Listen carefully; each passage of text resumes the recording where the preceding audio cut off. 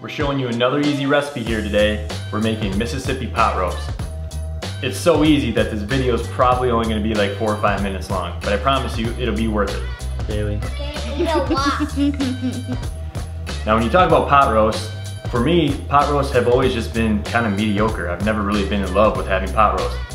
They're really easy to make and that's the allure to them, but sometimes the taste leaves me wanting more. Until I discovered this pot roast. This recipe is crazy simple. It's four ingredients plus the salt and pepper that you use to season the meat before you sear it. Pile it all into a crock pot, come back home, throw it over some mashed potatoes or noodles, and get after it. Traditionally, Mississippi pot roast is made with a chuck roast. Today we're gonna be using the sirloin tip or the football roast off of a doe I shot last year because it's a wild game cooking channel, so that's what we're gonna use. I do not know why it's called a Mississippi pot roast. All I know is that it's easy and it's delicious. The ease to taste ratio on this thing is through the roof. So the beautiful thing about a roast is you throw it in the crock pot and then you can do whatever you want. I'm gonna get this bad boy in the crock pot here, show you how to do it, and then I'm going squirrel hunting. So the first thing you're gonna wanna do is take the meat out of the package and clean it up a little bit.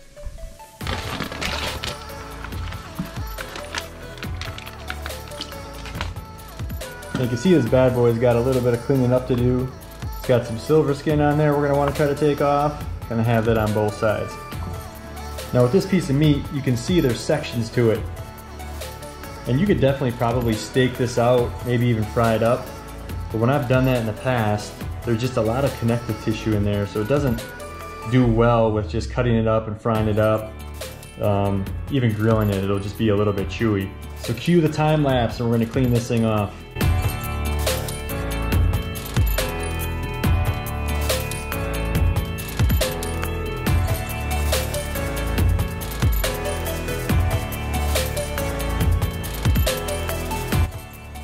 Right, now that we got this thing pretty well cleaned off, all you need to do is salt and pepper all around the entirety of the meat before we pan sear it.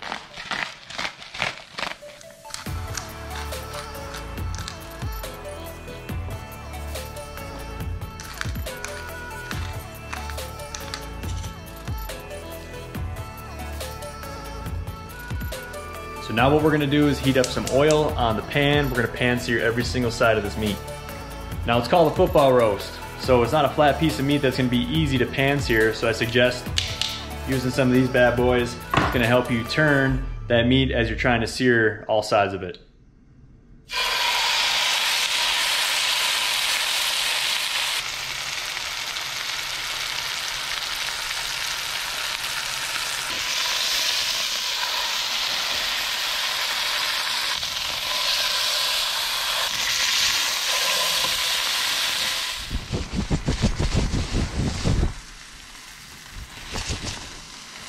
Don't wear your Sunday's best when you're pan searing meat or the shirt that your wife got you for your birthday.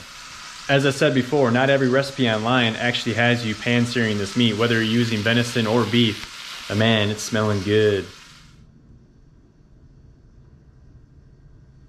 Now that was actually the hardest part, is browning the meat. You don't actually have to do that. I've not tried it without pan searing it, but a lot of the recipes online don't call for it. But that's the hardest part. The rest of it is just pounding it all into a crock pot and waiting. Later on shredding it, and then depending upon what you're gonna put it over, but right now the hard part's done. This thing literally calls for four easy ingredients. You got a stick of butter, a packet of ranch dressing seasoning, a packet of jus seasoning, and pepperoncini peppers. Now I literally had to look up online how to pronounce this. I always called it pepperoncinis, but it's pepperoncini.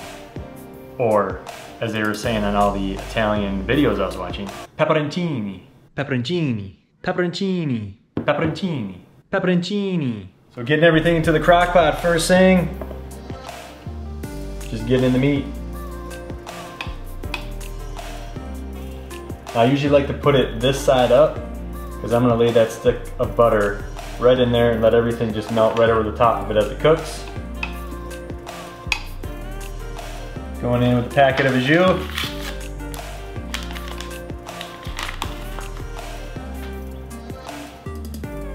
Trying to keep it all on top of the meat.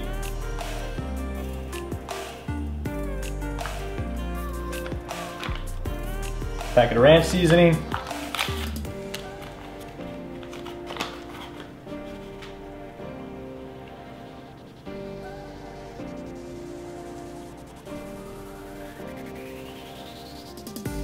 Pepperoncinis.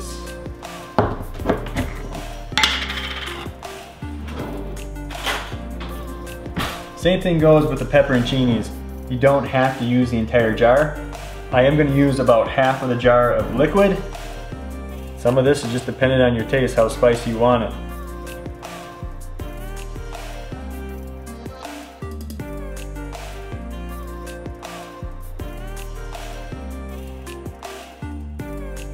Take a butter.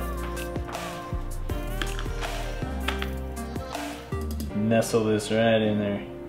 So when it melts, it's gonna melt right over the top of that meat.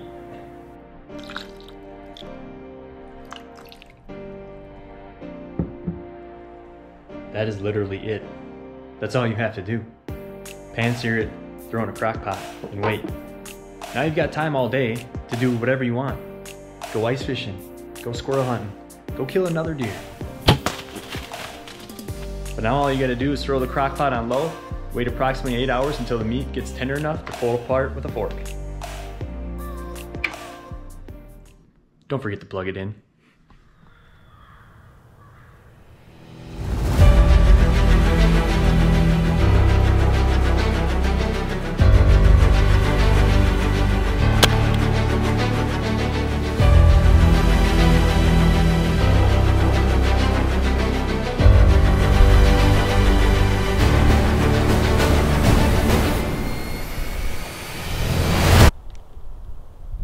Straps. All right, it's been about five hours. We just got done squirrel hunting, and now it's time to check the roast. My wife is probably gonna kill me for that. Worth it. Get to you in a second, buddy.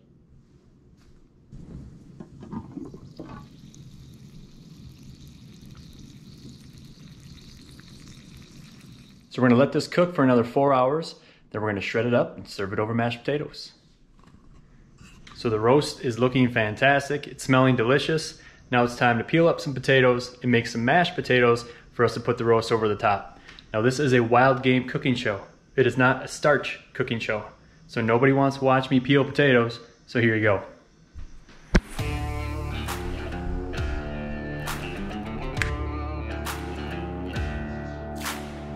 All right, our roast is complete. Now all we need to do is shred it up. So the first thing we're gonna do is pop out these peppers.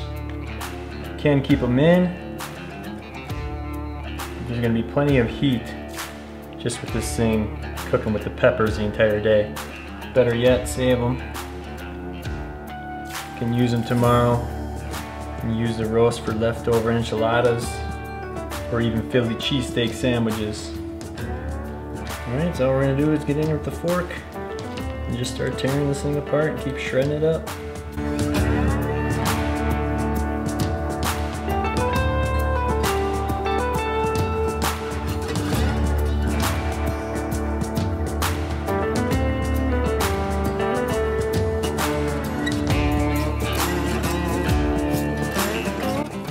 Alright, now that our roast is shredded, it essentially has the consistency of what you put on like a shredded roast beef sandwich. Now it's time to plate it up because I've got two special guests, well three special guests, but two of them are very critical. I call them my food critics. So we're gonna put this on a plate, see what they think about it.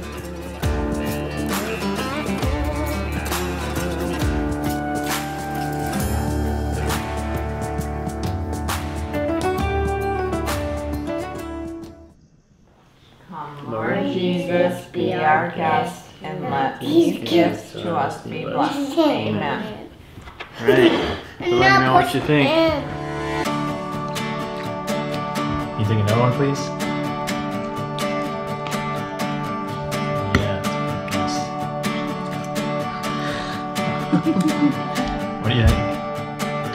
Okay, chew that up. Maybe spit a little bit out.